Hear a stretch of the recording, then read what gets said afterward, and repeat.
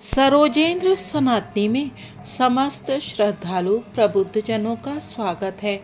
हम सुन रहे हैं श्री परमहंस योगानंद जी की आत्मकथा, श्री योगी कथामृत। और अभी तक की कहानी में हमने सुना कि परमहंस जी अपने गुरु के आश्रम में श्री रामपुर जाकर रह रहे हैं। अब आगे की कथा सुनते हैं। मेरे गुरु अपने पुरुष और स्त्री शिष्यों को अपनी संतान मानकर उनसे खुलकर मिलते थे। उनकी आत्मा की समानता को जानते हुए वे उनमें कोई भेद नहीं करते थे और कोई पक्षपात नहीं दर्शाते थे। वे कहते थे, नींद में किसी को यह पता भी नहीं चलता कि वह पुरुष है या स्त्री। जिस प्रकार स्त्री का वेश धारण कर लेने से कोई पुरुष स्त्री नहीं बन जाता, उसी प्रकार आत्मा, स्त्री या पुरुष का रूप धारण कर लेने पर भी अपरिवर्तित ही रहती है। आत्मा ईश्वर का निर्विकार, निर्गुण प्रतिरूप है। श्री युक्तेश्वर जी स्त्री को पुरुष के अधः पतन का कारण नहीं मानते थे और न कभी स्त्रियों को टालने का प्रयास करते थे। वे कहा करते थे कि स्त्री को भी पुरुष आकर्षण के प्रलोभन का सामना करना पड़ता है। मैंने एक बार उनसे पूछा कि एक प्राचीन महान संत ने स्त्री को नरक का द्वार क्यों कहा है? श्री युक्तेश्वर जी ने तीखे स्वर में कहा नव युवावस्था में कोई लड़की उसकी मन शांति में बाधक सिद्ध हुई होगी, अन्यथा वह स्त्री को नहीं, बल्कि अपने आत्म संयम की अपूर्णता को दोष देता। यदि किसी आगंतुक ने विकारमयी बातों का संकेत भी देने वाली कोई कहानी आश्रम में बताने की धृष्टता कर ही दी तो गुरुदेव उसकी ओर से ध्यान हटाकर मौन हो जाते थे। वे शिष्यों से कहते, सुंदर चेहरे के उत्तेजक चाबुक के प्रहार अपने ऊपर मत होने दो। इंद्रियों के दास जगत का आनंद कैसे ले सकते हैं? जब वे वासना के कीचड़ में रेंगते रहते हैं तो जगत के सूक्ष्म रसों का आनंद उनकी पकड़ में आता ही नहीं। वासनाओं में आसक्त मनुष्य का विवेक खो जाता है। उसे अच्छे बुरे का भेद भी पता नहीं चलता। माया जनित काम वासना से बचने की इच्छा करने वाले शिष्यों को श्री युक्तेश्वर जी से धैर्यपूर्ण एवं समझदारी से ओत प्रोत मार्गदर्शन मिलता था। वे कहते थे, जिस प्रकार भूख का एक यथार्थ उद्देश्य है, परंतु लोलुपता का नहीं। उसी प्रकार काम प्रवृत्ति को भी प्रकृति ने केवल प्रजाति के प्रवर्तन के लिए ही बनाया है। कभी तृप्त न हो सकने वाली वासनाओं को जगाने के लिए नहीं। अपनी गलत इच्छाओं को अभी ही नष्ट कर दो। अन्यथा स्थूल शरीर छूट जाने के बाद भी सूक्ष्म शरीर में वे तुम्हारे साथ चिपकी रहेंगी। शरीर को रोक पाना भले ही कठिन हो, पर मन में निरंतर विरोध करते ही रहना चाहिए। यदि प्रलोभन निष्ठुरता पूर्वक तुम पर आक्रमण करे तो साक्षी भाव से उसका विश्लेषण करके अदम्य इच्छा शक्ति के द्वारा उस पर विजय प्राप्त करो। प्रत्येक प्राकृतिक वासना पर विजय प्राप्त की जा सकती है। अपनी शक्तियों को बचा कर रखो, विशाल समुद्र के समान बनो, जिसमें इंद्रियों की सब नदियाँ चुपचाप विलीन होती चली जाएँ। प्रतिदिन नई शक्ति के साथ जागती वासनाएँ। तुम्हारी आंतरिक शांति को सोख लेंगी। ये वासनाएँ जलाशय में बने छिद्रों के समान है, जो प्राण मूलक जल को विषय शक्ति के रेगिस्तान में नष्ट होने के लिए बहा देते हैं। मनुष्य को बाध्य करने वाला कुवासनाओं का शक्तिशाली आवेग, उसके सुख का सबसे बड़ा शत्रु है। आत्म संयम के संग बनकर संसार में विचरण करो। इंद्रिय दुर्बलताओं के मेढकों की लाते खाकर इधर से उधर लुढ़कते मत रहो। सच्चा साधक अंततः नैसर्गिक वासनाओं की व्यवस्था से मुक्त हो जाता है। मानवीय स्नेह की अपनी आवश्यकता को वह उस ईश्वर की लालसा में बदल देता है, जो एकमात्र प्रेम है, क्योंकि वह सर्वव्यापी है। श्री युक्तेश्वर जी की मातुश्री काशी के राणा महल मोहल्ले में रहती थी, जहाँ मैं अपने गुरु से मिलने प्रथम बार गया था। वे करुणामय और दयालु थी, परंतु सुनिश्चित मतों की भी थी। एक दिन मैं उनकी बालकनी में खड़ा माँ बेटे को वार्तालाप करते देख रहा था।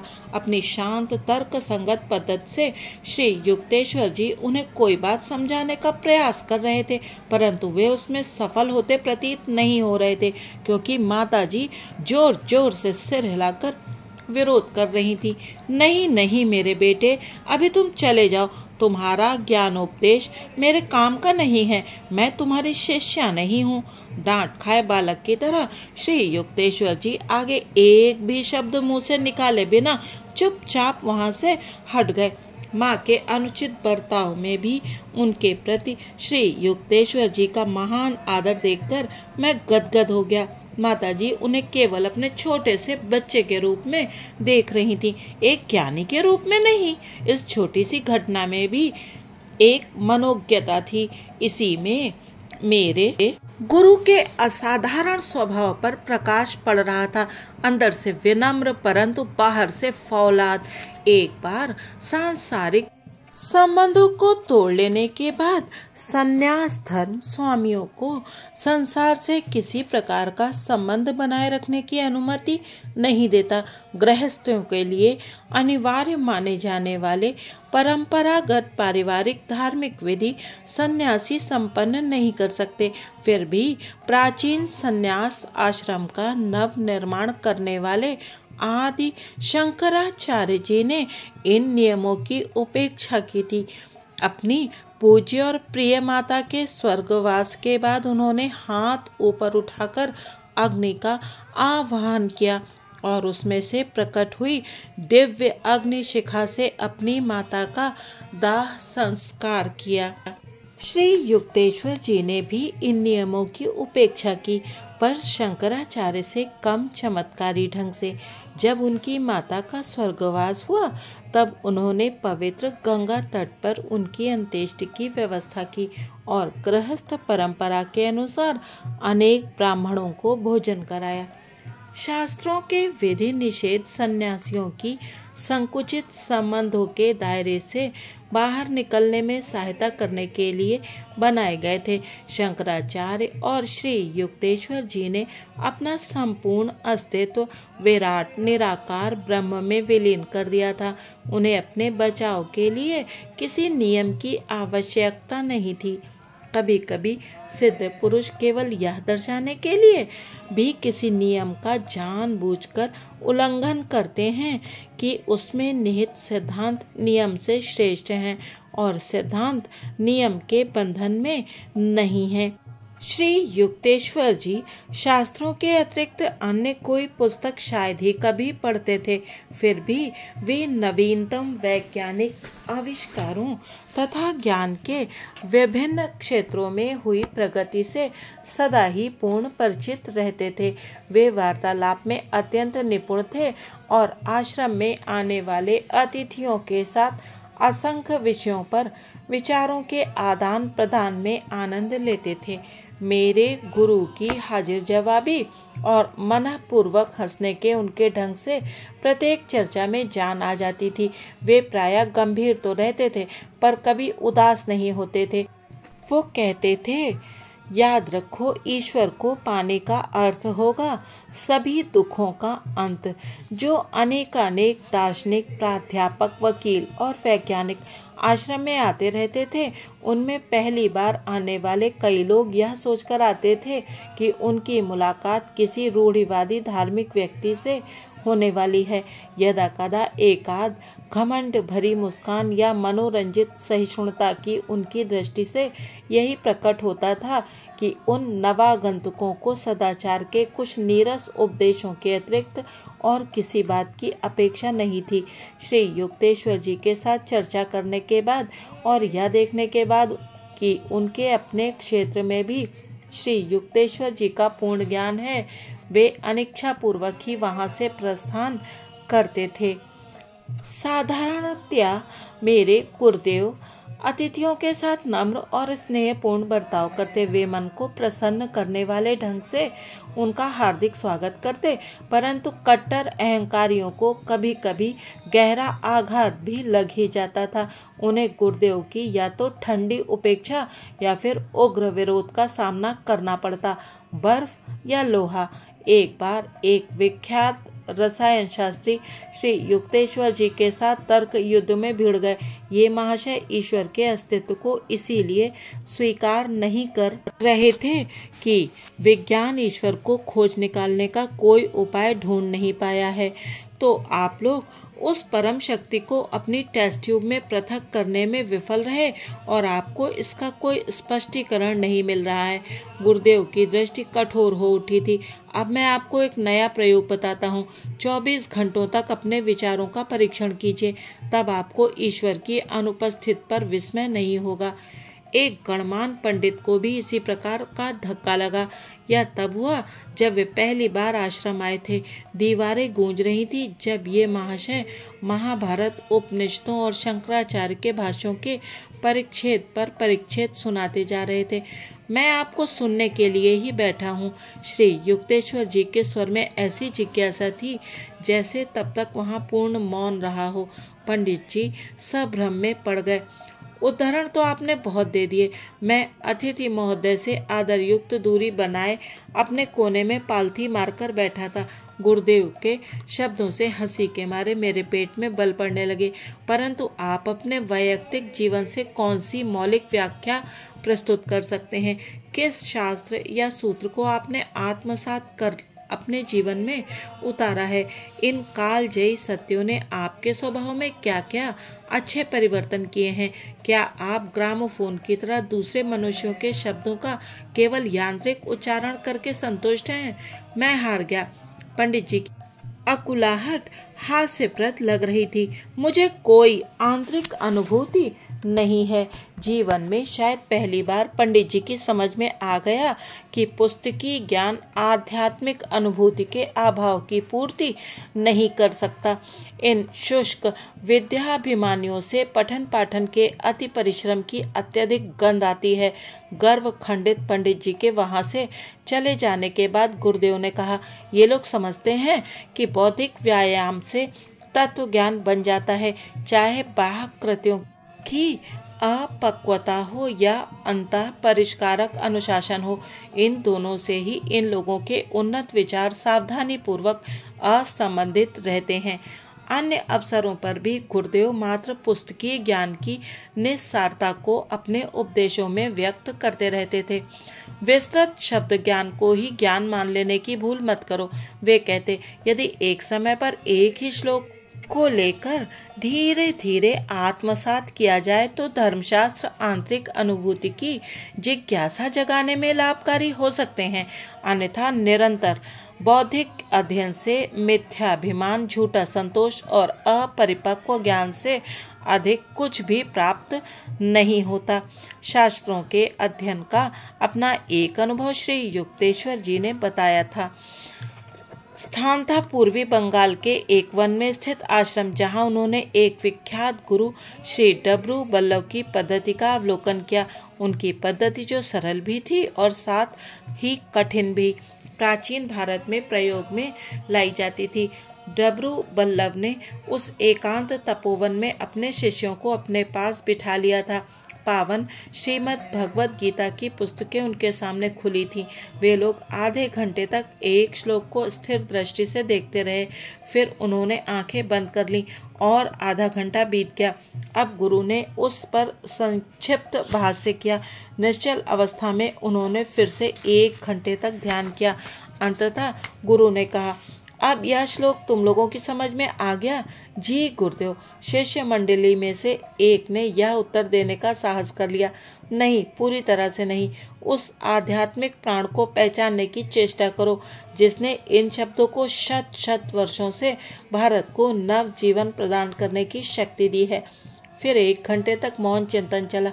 तत्पश्चात गुरु ने शिष्यों को छुट्टी दे दी और श्री युक्तेश्वर जी की ओर मुड़कर उन्होंने कहा आपको भगवत गीता का ज्ञान है? नहीं महाराज, मैं उसे ठीक से समझ नहीं पाया हूँ।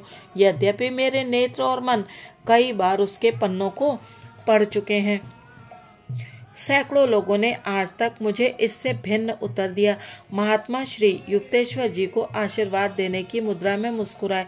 यदि शास्त्र संपदा के बाह्य प्रदर्शन में ही कोई व्यस्त रहे तो अमूल्य रत्नों के लिए अंतर में डुबकी लगाने का समय ही कहाँ बचता है? श्री युक्तेश्वर जी स्वयं अपने शिष्यों को भी इसी एकाग्रता की तीव्र पद्धति से अध्ययन कराते थे।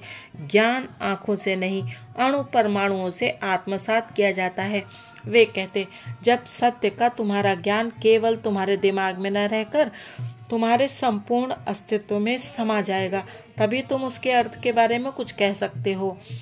किसी शिष्य में यह मानने की प्रवृत्ति होती कि ब्रह्म ज्ञान प्राप्त करने के लिए पहले पुस्तकी ज्ञान होना आवश्यक है तो वे उसका निराकरण करते थे ऋषियों ने केवल एक वाक्य में ऐसा गहन अर्थ भर रखा है कि उस पर भाष्य करने वाले पंडित युग युगांतर से उसी में व्यस्त है। वे कहते, अंतहीन साहित्यिक वाद विवाद प्रमादी मन का लक्षण है। इस विचार से अधिक शीघ्रता से मुक्ति दिलाने वाला और क्या हो सकता है कि ईश्वर है, बल्कि केवल ईश्वर। किंतु मनुष्य इस मूल सरलता की और आसानी से नहीं लौटता। बुद्धिवादी का लक्ष्य शायद ही कभी ईश्वर होता है। उसे विद्यालंकृत शब्द आडंबर ही अधिक भाता है। उसका अहंकार इसी में तृप्त हो जाता है कि वह इतने गहन पांडित्य को समझ सकता है। जिन लोगों में अपनी धन संपत्ति का या सामाजिक मान मर्यादा का अहम भाव होता था। उनके साथ यह संभावना सदा ही बनी रहती थी कि गुरुदेव के सानिध्य में आने पर उनकी विविध संपदाओं में विनम्रता, धन भी जुड़ जाए। एक बार पुरी में सागर तट पर स्थित उनके आश्रम में वहाँ के एक मजिस्ट्रेट मिलने आए। यह मजिस्ट्रेट महोदय अपनी निष्ठुरता के लिए जाने जाते थे और हमें आश्रम से बेदखल करना उनके पूर्ण अधिकार में था। मैंने गुरुदेव को इस तथ्य से अवगत कराया, परंतु गुरुदेव पर उसका कोई प्रभाव नहीं पड़ा। मजिस्ट्रेट को कोई विशेष महत्व न देकर वे साधारण भाव से बैठे रहे और उनके आने पर उनका स्वागत करने के लिए खड़े भी नहीं हुए। किंचित अधीरता के साथ मैं दरवाजे के पास बैठ गया। श्री युक्तेश्वर जी ने मुझसे मजिस्ट्रेट के लिए कुर्सी लाने को भी नहीं कहा। अतः उन्हें लकड़ी के एक डिब्बे पर बैठकर ही संतोष करना पड़ा। अपने पद की गरिमा के अनुसार स्वागत किए जाने की उनकी किसी भी आशा की पूर्ति नहीं हुई। आध्यात्मिक चर्चा आरंभ हुई। मजिस्ट्रेट महोदय शास्त्रों का अर्थ बताने में गलतियाँ पर गलतियाँ करते गए और जैसे जैसे गलतियाँ करते जाते थे, वैसे वैसे उनका क्रोध बढ़ता गया। आप जानते हैं कि मैं एमए की परीक्षा में प्रथम आया था। उनकी बुद्धि जवाब दे चुकी थी, पर चिल्लाना उन्हें अब भी आता था। मजिस्ट्रेट महोदय, आप भूल रहे हैं कि यह आपकी अदालत का कमरा नहीं, गुरुदेव ने शांत भाव से कहा। आपकी बचकानी बातों से तो यही लगता है कि आपका विद्यार्थी जीवन कोई विशेष प्रतिभावन नहीं रहा। और वैसे भी, यूनिवर्सिटी की डिग्री का वैदिक ज्ञान के साथ कोई संबंध नहीं है। संत अकाउंटेंटों की भांति प्रतिवर्ष समूह में नहीं निकलते। कुछ देर तो मजिस्ट्रेट महोदय स्तब्ध रह गए, फिर दिल खोलकर हंसने लगे। पहली बार किसी दैवी मजिस्ट्रेट के साथ मेरा सामना हुआ है, उन्होंने कहा। बाद में उन्होंने कानूनी शब्दों से भरी भाषा में, जो उनके व्यक्तित्व का एक हिस्सा ही बन चुकी थी, अस्थायी शिष्य के रूप में स्वीकार किए जाने का औपचारिक निवेदन किया। लाहड़ी महाशय की तरह ही श्री युक्तेश्वर जी ने भी अनेक अवसरों पर संन्यास ग्रहण के इच्छुक अपरिपक्व शिष्यों को उससे परावृत्त किया। ये दोनों ही गुरु कहते थे। ईश्वरानुभूति का अभाव होते हुए भी गेरुआ वस्त्र धारण करने का अर्थ समाज को ठगना है। त्याग के इन बाह प्रतीकों का विचार मत करो। जो तुम्हें झूठा अहंकार उत्पन्न करके तुम्हारी हानि कर सकते हैं। तुम्हारी स्थिर दैनिक आध्यात्मिक प्रगति के अलावा और किसी बात का कोई महत्व नहीं है। और उसके लिए क्रिया योग का उपयोग करो।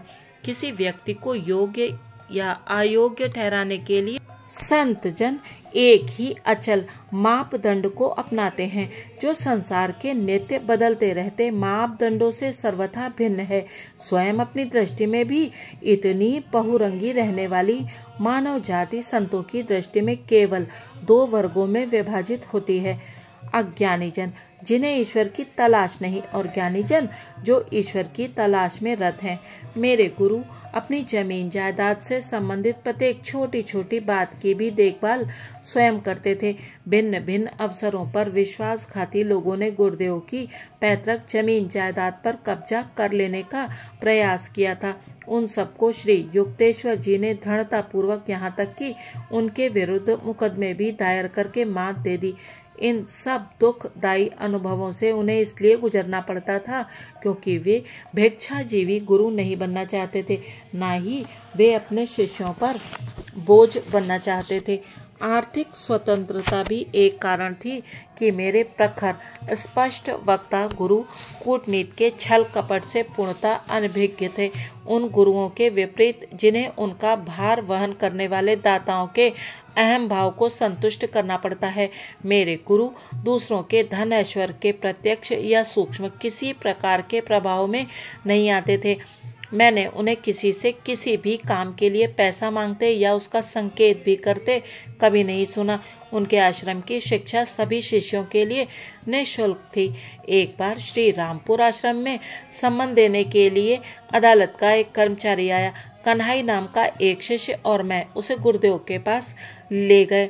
श्री युक्तेश्वर जी के प्रति उस कर्मचारी का रवैया अपमानजनक था। आपकी भलाई अब इसी में है कि आप अपने इस आश्रम की छाया से बाहर निकलकर जरा अदालत की सत्यनिष्ठ हवा खाएँ, उसने अपमान सूचक स्वर में कहा।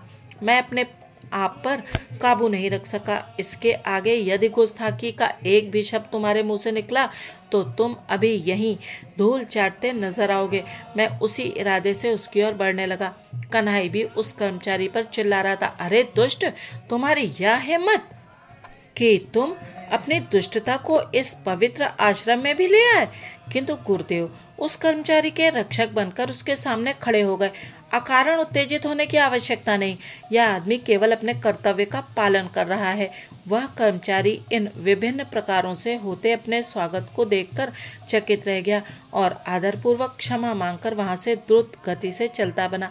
बड़ा आश्चर्यजनक था ये देखना कि एक उग्र इच्छा शक्ति वाला सिद्ध पुरुष अंदर से इतना शांत, शीतल भी रह सकता था। वेदों में संत के विषय में दी गई परिभाषा श्री युक्तेश्वर जी पर सटीक बैठती थी।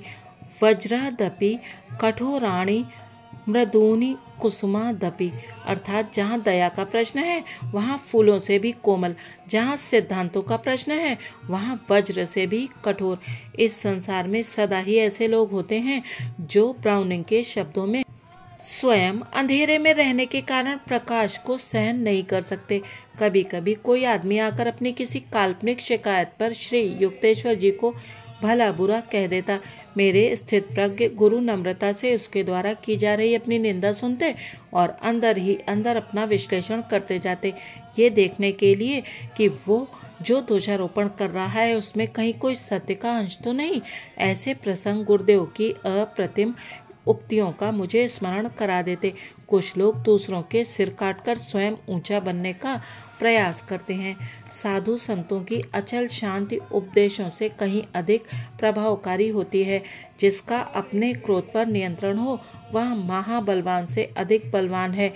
जिसने अपने आप को जीत लिया हो, वह राज्य विजेता से भी बड़ा विजेता है। अनेक बार मेरे मन में यह विचार आता कि यदि मेरे तेजस्वी गुरु का मन ख्याति या सांसारिक उपलब्धियों पर केंद्रित हो जाता तो वे आसानी से सम्राट या विश्व को थर्रा देने वाले योद्धा बन सकते थे। परंतु इसके बदले उन्होंने क्रोध और अहंकार के उन आंतरिक दुर्गों को ध्वस्त करना पसंद किया, जिनके पतन में मनुष्य की चरम उपलब्धि निहित है। आज इस कथा को यही विश्राम देते हैं। अगले भाग में जानेंगे विनेत्र संत। यदि आपको ये प्रस्तुति अच्छी लगी हो तो कृपया चैनल को सब्सक्राइब कीजिएगा और वीडियो को अवश्य ही लाइक कीजिएगा और अपने मनोभावों से अवगत कराने का प्रयास मुझे अवश्य कीजिएगा कमेंट्स के द्वारा। आपके कमेंट्स का मुझे सदैव ही इंतज़ार रहेगा। आप मुझे इस वीडियो में हुई मेरी कमियाँ उच्चारण के दोषों आदि से भी परिचित करा सकते हैं, जिससे मैं अपने आप में सुधार का प्रयत्न करूँ। अगले अंक तक के लिए आप सभी को सादर नमन